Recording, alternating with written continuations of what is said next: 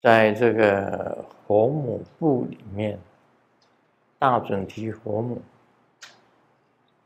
它的威力很大。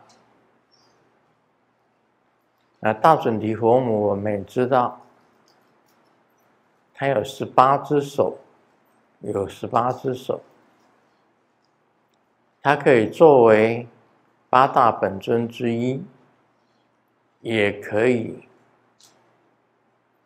作为护法，也可以作为护法，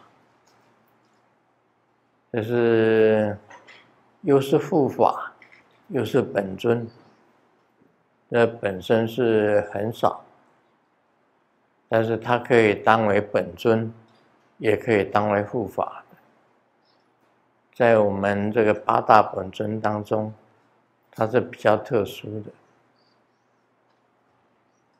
那么普方上师呢，他的本尊就是大准提佛。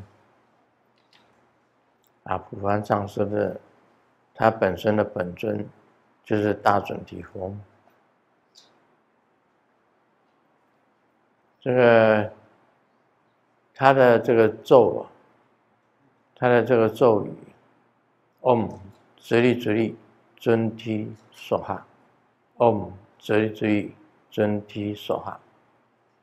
那么它的手印呢，就是我们讲的一般的所有的手印开始都要结它的手印。这个印叫总持印，总持印，也就是准提佛母的印啊，手印。所有一切手印开始。都是要这样子接，然后再开始演变，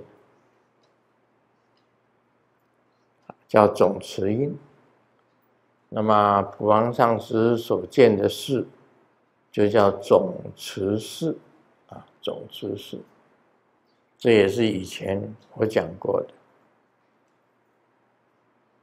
那这一尊修持能够很。有很大的相应的，也很多。那么我们在经典里面知道，大准提佛母是七具底佛母。什么叫做七具底？就是有七具底的如来，由大准提佛母所生。有七具底的如来由大准提佛母所生，啊，所以这一尊是我们八大本尊之一。